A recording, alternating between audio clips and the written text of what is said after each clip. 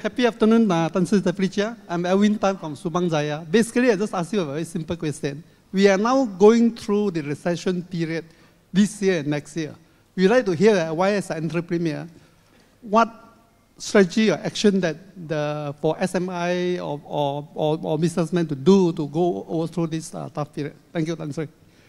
Well, like I said, uh, there's always the, uh, you know, uh, fine weather, you have sun, suddenly the rain come, then storm, eh, maybe tsunami. So, so now we are going a storm, yeah? But I think uh, leadership is important, the resilient, lead your team, lah, you know, but of course you have to cut costs and stay relevant.